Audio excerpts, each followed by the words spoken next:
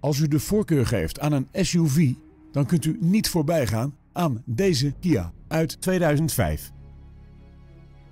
U beschikt in deze auto over climate control, cruise control en elektrisch bediende ramen voor en achter. Natuurlijk beschikt deze Kia over diverse veiligheidssystemen, zoals elektronische remkrachtverdeling en verschillende airbags rondom. Zo'n complete Kia is natuurlijk ook voorzien van 16-inch lichtmetalen velgen en metallic lak. Tevens wordt deze auto geleverd met Nationale Autopas.